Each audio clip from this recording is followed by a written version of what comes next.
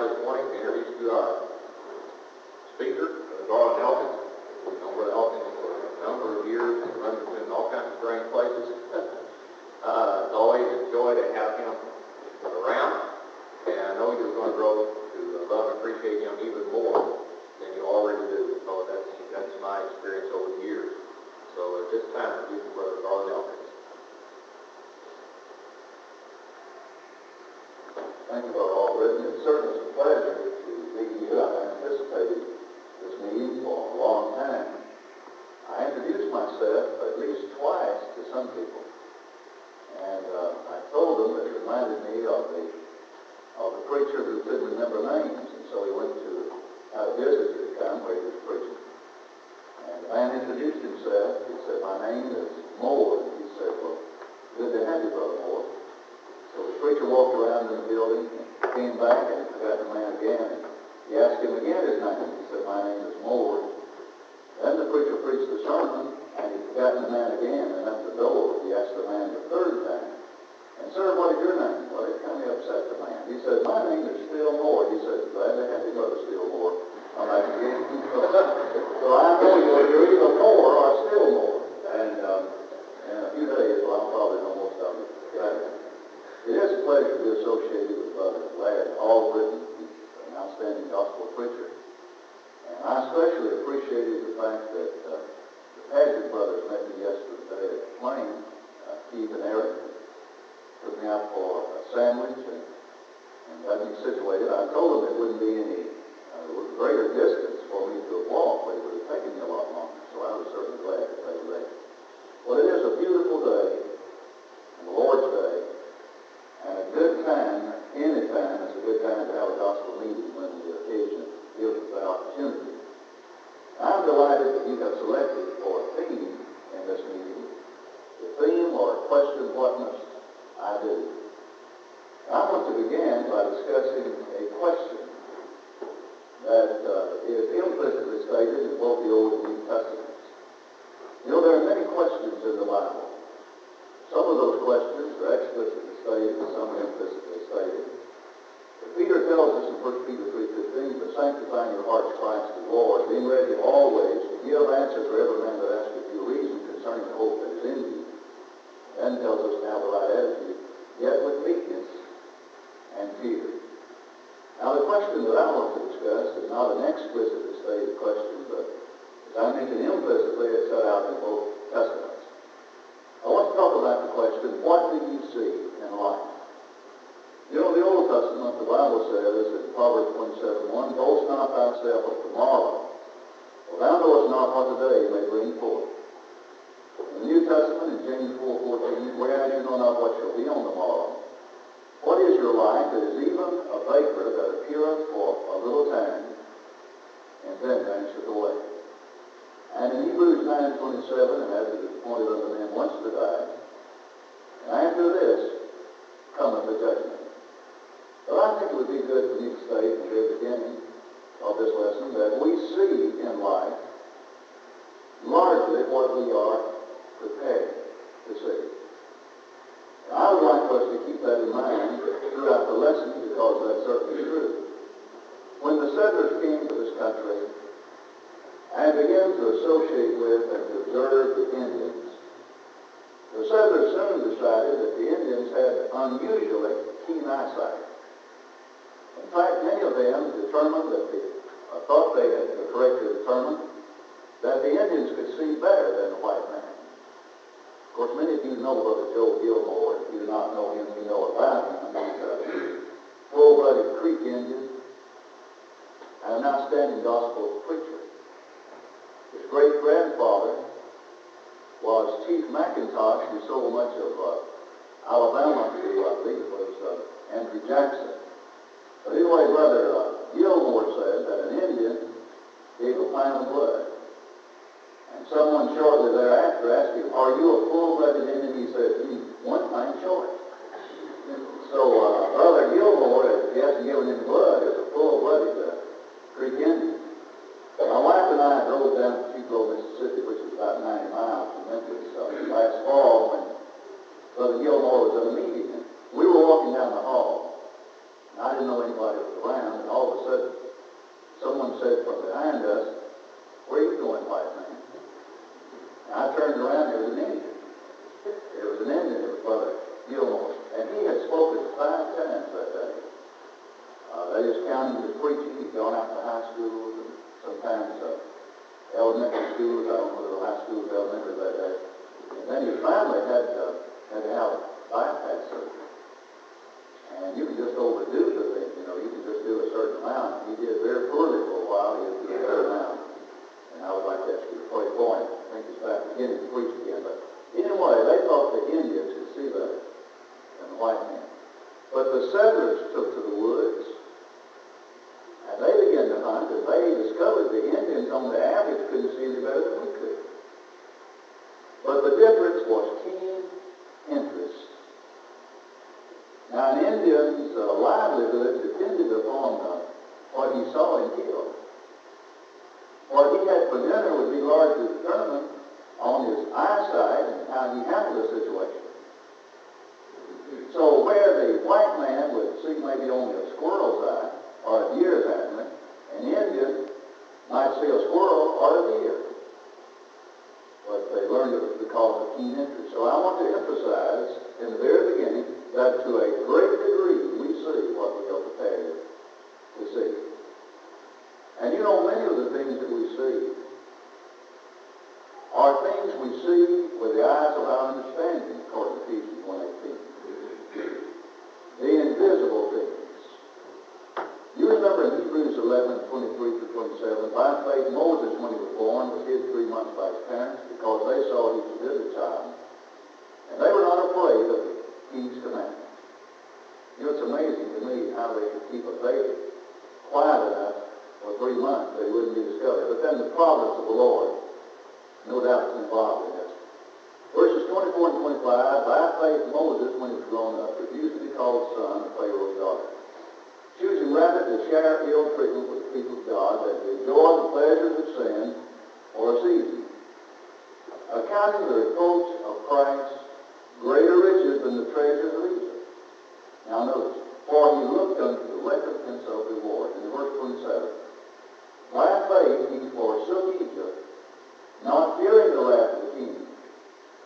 For he endured at seeing him who is invisible. You remember that Paul said in 2 Corinthians 4, 16 through 18, For which cause we thank not, for though our outward man perish, yet the inward man is renewed day by day. Now note verse 17. For our life afflictions. And I'm frank to say, if I've ever read about anybody having heavy, heavy affliction from a human standpoint, I think it was Paul. You read that pathetically long list in 2 Corinthians 11, 23 through 28, and you will easily come to the conclusion that he suffered many heavy and difficult afflictions. But as compared to the eternal reward, the eternal crown, he said his afflictions were light. For our life afflictions. My wife and I have uh, many friends, just like you do, and many friends in the church, but a couple, a gospel preacher's wife, who are very good friends of ours, have said from time to time, when they think about their problems, they think of this expression, and it came to pass. That is, it's here temporarily. It will not be here on and on. And as compared to the reward in the eternal hereafter, it amounts almost to nothing. For our light afflictions, which are for the moment, work for us more and more exceedingly, and eternally glory. Now notice, while we look not at the things which are seen, but at the things which are not seen. For the things which are seen are temporal, but the things which are not seen are eternal. So I emphasize that uh, we need to be prepared to see the spiritual. You know, there are many things in this life that important that we cannot see with the natural eye. You take, for example, you can see a house, but you cannot necessarily tell looking at that house what kind of home is in that house. I notice in most cities in which I go, like I guess all of them, if I stay very long, I see signs which say, home for sale. And I say to myself, I sure hope they don't mean they want to sell the home. I hope it's just a house. And I know that's really what they have in mind. But many people have sold their home. There's no doubt about that. Many people have allowed Satan to destroy their home. But you know, you can see a house, but that doesn't tell you per se the kind of home that is there. You know, you can see a word, but you cannot see the an idea. You can see a mother's face, but you do not necessarily see all the love that's uh, in that person's heart for their children. So there are many things that uh, we cannot see even in this life. But now we have never seen God. We have never seen Christ. We have never seen the Holy Spirit. We have never seen heaven. These are important realities, though, and more valuable to us than the things that we see in this life. We must keep our attention focused upon them. Why is it that a person does not see the plain and simple truth of the Bible? Well, I know one of the major reasons why many people do not it. Paul said in 2 Corinthians 4, 4, and even if our gospel be veiled or hid, it is veiled in them that perish, in whom the God, and that's spelled with a little g, speaking of the devil, in whom the God of this world hath blinded the minds of the unbelievers, that the light of the gospel of the glory of Christ, who is the image of God, should not shine upon them. In other words, you tell somebody the Bible says in Mark 16, 16, He that believeth and is baptized shall be saved, but he that believeth not shall be damned. Now, it doesn't take a Solomon to understand that.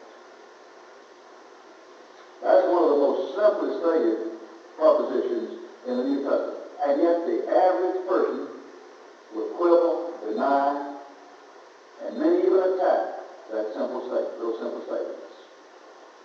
Is because there are preachers of Satan who have perverted and twisted and undermined and attacked that truth. Somebody said that a little lady at the door said, whipped out a little piece of white paper and said to the preacher, I guess you might be interested in knowing, I don't think that was uh, Brother Aldrin, and if I was not the one, though it could have been me. But uh, she supposedly said, I, you might be interested to know that you made a dozen grammatical mistakes in this sentence. And he said, well, uh, it wouldn't surprise me had you found two And then she went on out. And immediately following her was a man. And he said to the preacher, I want you to know how much I gained from that sermon. I learned the truth about God in that sermon. Now you see, one saw only the grammatical errors and the other learned the truth about God. I want to emphasize again, to a great degree, we see what we are preparing to see. You know, there are some people who are far-sighted. The Bible says in the latter part of Proverbs 17, 24, the eyes of a fool are in the ends of the earth. In other words, he can't see anything to do here. Couldn't go out and maybe invite people to this meeting but if could go to Russia, you would do a great work. That doesn't mean people shouldn't go to Russia, like Brother Cates and Brother Rice and, uh, others, about seven or eight gospel preachers and elders and others are in Russia today preaching the gospel. We need to go to Russia and places like that. And I believe it's only through the providence of the Lord that we've been accorded that opportunity. There was no miracle involved. Providence never involves miracles. But God still rules among men. And John 7, 17, if any man willeth to know the doctrine, he shall know the teaching, whether I speak of myself or of God. And we truly love the Lord, therefore, he provides opportunities for us. But there is something to do near home as well. Now, you remember when your little children, little girls, if you had any, wanted to wash the dishes so bad. Even insisted that sometimes the mother would put a high chair or a stool or something so they could stand up there and wash a few dishes, and then you let that girl get old enough to reach into the sink and you can scarcely drag her. You know, we want it, it looks more adventurous and more encouraging if it's far off. Then there are other people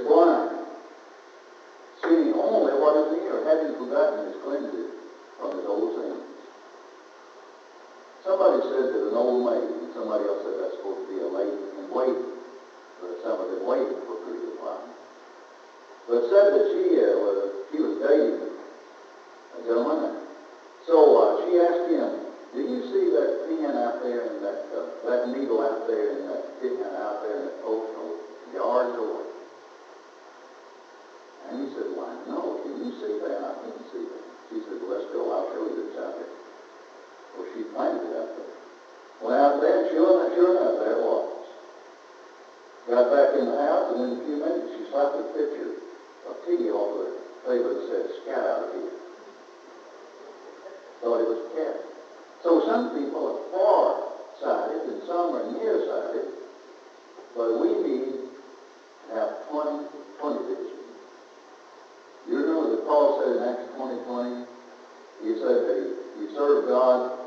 did that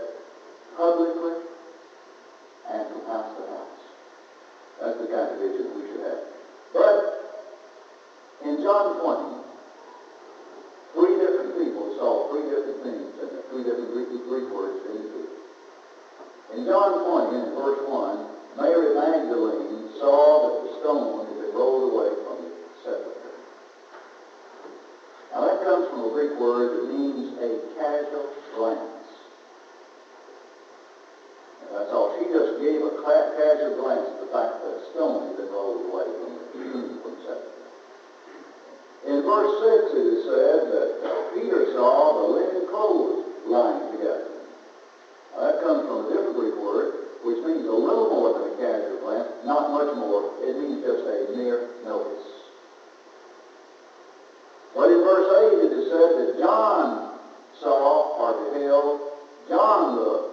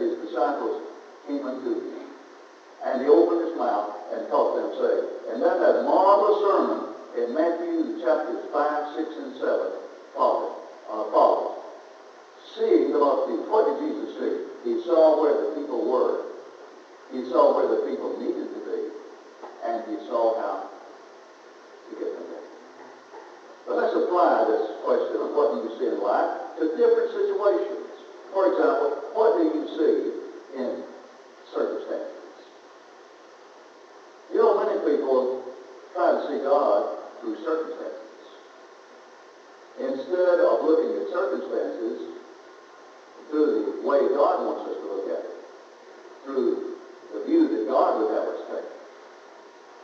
And you know what? We have a tendency, if we're not very careful, to magnify bad circumstances either way, anyway, or what we think to be bad circumstances. A little boy came running into his mother and said, Mother, there are a hundred snakes out there in the grass. And you know, I'm kind of like the fellow that the he was afraid of four non-cooperative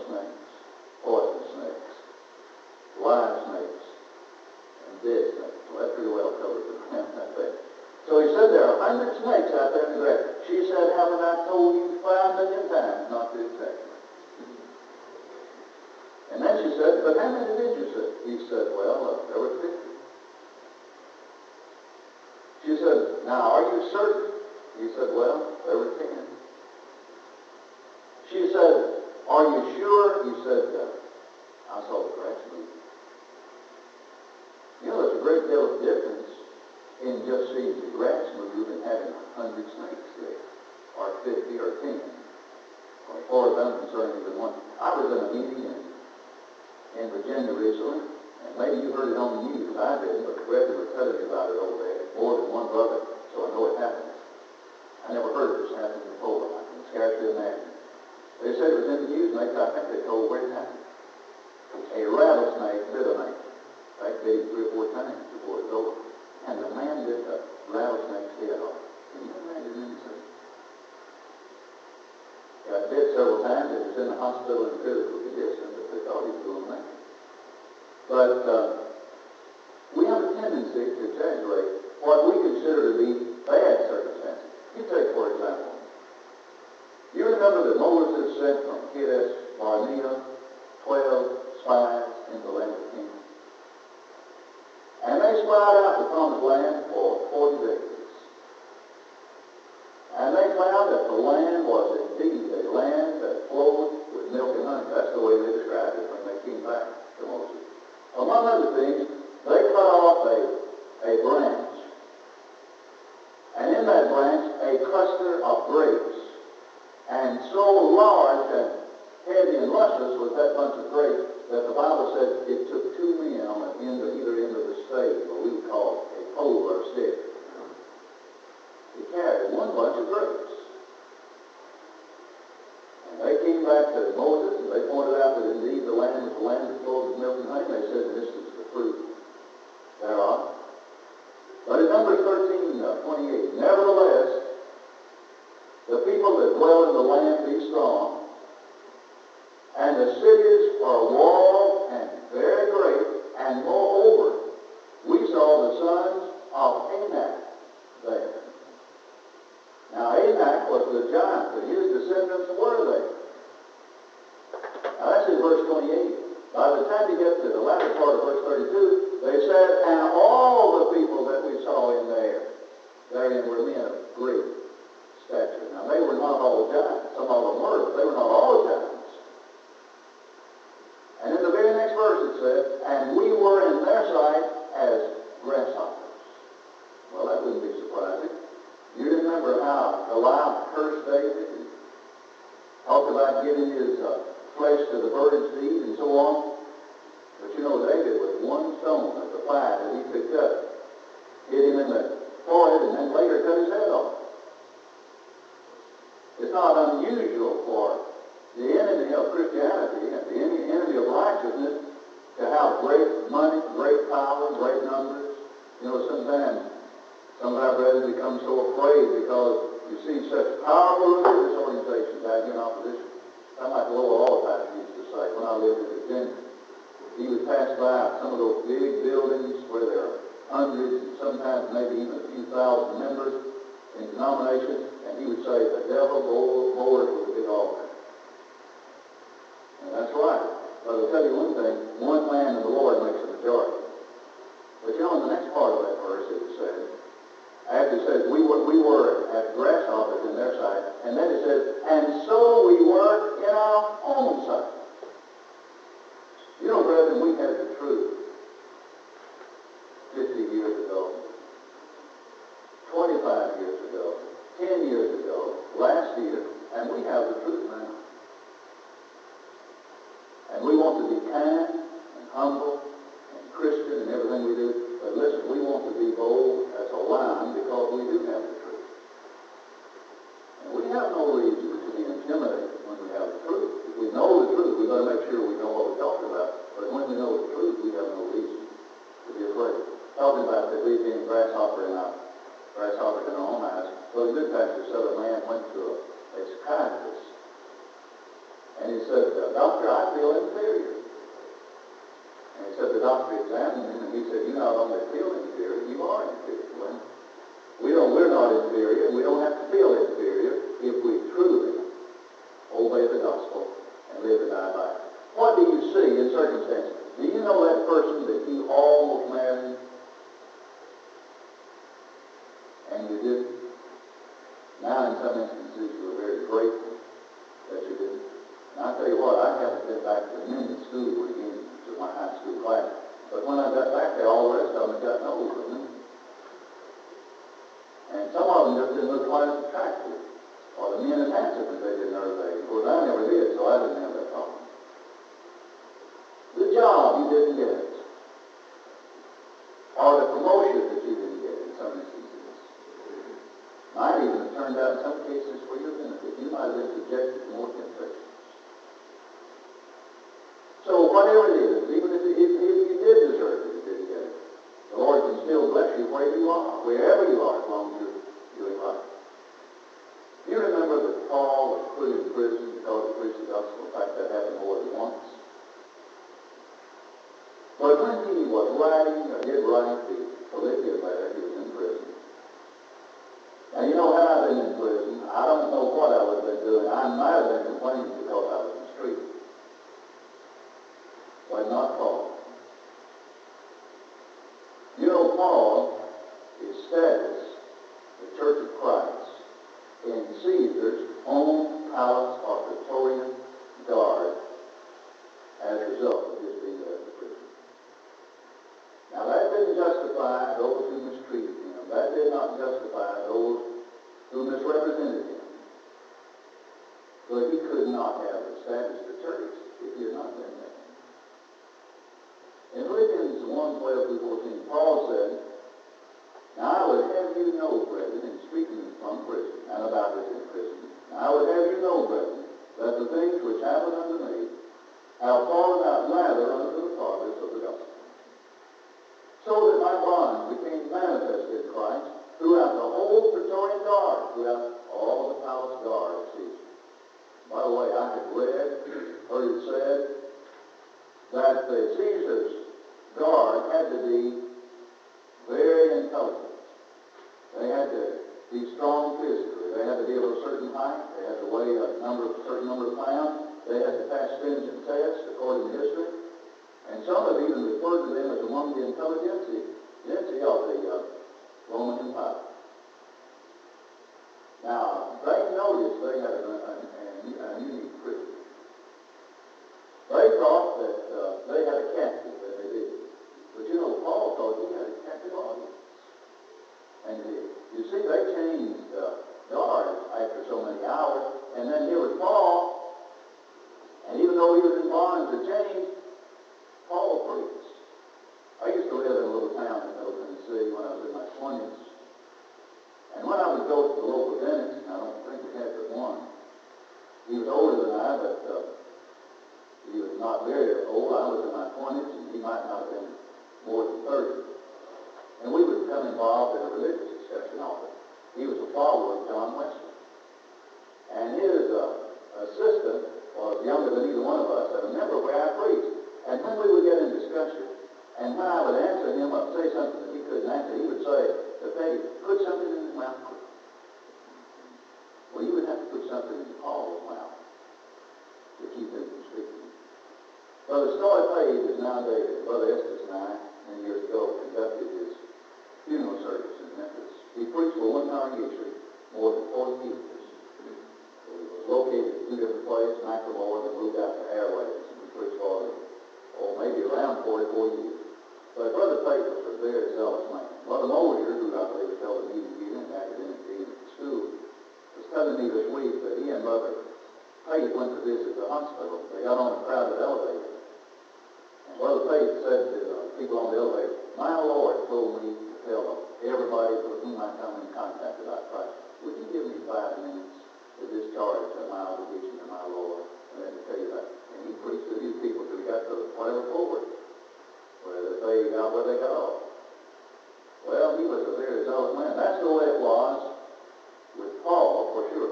Now I would have you know, brethren, the things which happened to me have fallen out rather than the progress of the gospel, so that my bonds became manifest in Christ throughout the whole Praetorian Guard and all the rest. Now here's a third benefit of uh, Paul's standing. That most of the brethren Lord, it didn't say all, I'm sure the time will never come when all brethren will stand for truth. And that most of the brethren in the Lord, notice, being common through my bond. When they saw Paul stand, and even start the church among Caesar's household, it encouraged other brethren to speak out. That most of the brethren in the Lord being confident through my bonds, now notice, are more abundantly bold to speak the word of God without fear. Introduced Brother Bill Jackson at several different ones of our lectureships, spiritual lectureships. And I remember introducing him, you know, he died within the last two years, an outstanding gospel preacher. Man of great courage and strong faith. I believe that he's in a far better place than we are now. But I once introduced him, and, and since his name was Jackson, I compared him to Stonewall Jackson. I know many of you remember the story, how there was a crucial battle being fought, and on Jackson's side, many men him back, but Jackson stood. Another general looked over and saw him standing, and he called to his men and said, Men, look at Jackson. He stands like a stone wall. And he has been known generally from that day from out as Stonewall Jackson. The average person probably couldn't even give his first name because we know him generally, think of him as Stonewall Jackson. When we lived in Virginia, we visited many historic places, and Virginia is a very historic place. Eight presidents came from there. And we visited the grave of Stonewall Jackson. And I thought while we were visiting this grave, you know what we really need more than in the physical sense, Stonewall Jackson, we need a lot of spiritual Stonewall Jacksons. Don't you agree that's right? Men who would stand for truth and righteousness in the church of our Lord. And so I introduced Brother Jackson and told the story about Stonewall Jackson. And when Brother Jackson got up to speak, the first thing he said was, yes, and his own men shouted in the back. Well, you know the devil knows how to have that done, too. But Paul said, the things which happen unto me have fallen out gladly unto the fathers of the gospel. When I was on the Donahue program, I took a little tract, and I think I have a copy of it in my pocket, but I, I took a little tract that I wrote years ago entitled, The Lord's Church is Different. With the idea if I got opportunity, I was going to offer that to anybody who would want a copy, a free copy of it. I had never seen his program all the way through, but about once I'd seen little parts of it, and I knew what kind of man he was. And so the question was asked me, I was called Reverend. I never have been one of those, but the lady meant well. I was living in Oak Ridge a member church, a neighbor was visiting. She didn't know I was a preacher. When she learned I was a preacher, she said, I didn't know you were a Reverend Well, I'm not a Reverend and I'm not a Reverend either, but this woman stood up and called me Reverend and said, I would like to ask uh, Reverend Elkins this question. They said, Illinois, I believe. In the town where I live, those people say you have to be a member, she said, of their church. We wouldn't say our church is the Lord's church. But their church, she said church service, she meant of the church. You know, what did he say? Well, everything got real quiet, and I answered that. I used scripture there, and I thought it went out over the country. But they cut that out. And I wish they had not. But later, Phil Donahue was over to my left, and I spoke up from my seat, and I said, uh, these are word for word, but it's word for word what I said. I said, Phil, we have discussed the Lord's church here today. I wrote a tract entitled, and I reached in my pocket and held it up for the camera. I wrote a tract entitled, The Lord's Church is Different. Would it be permissible to tell people where to write for a free copy? And I knew if he said no, that's going to make him look bad. And he said yes. Then I said, and I was continuing to hold it up, I said, when you receive a copy of this tract, check it with your Bible. If it is according to the Bible, believe it. If not, reject it.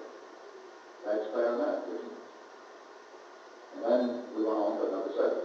Well, after it was over, I took 25 copies of that tract. When it was over, I gave one to the program director, to the sections, to the studio driver that came to the hotel, to the cab driver that took me back to the airport, to his librarian. In fact, I left 25 copies of it.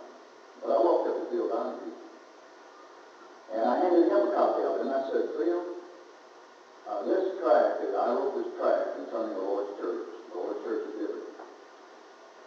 Will you take a copy of it and read it?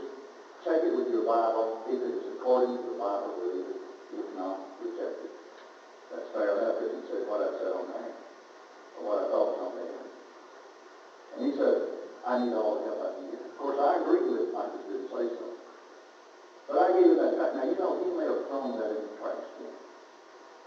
Or he never have. All 25 who got that track may have absolutely thrown that away. But I'll tell you what, if it is a blessing was not on.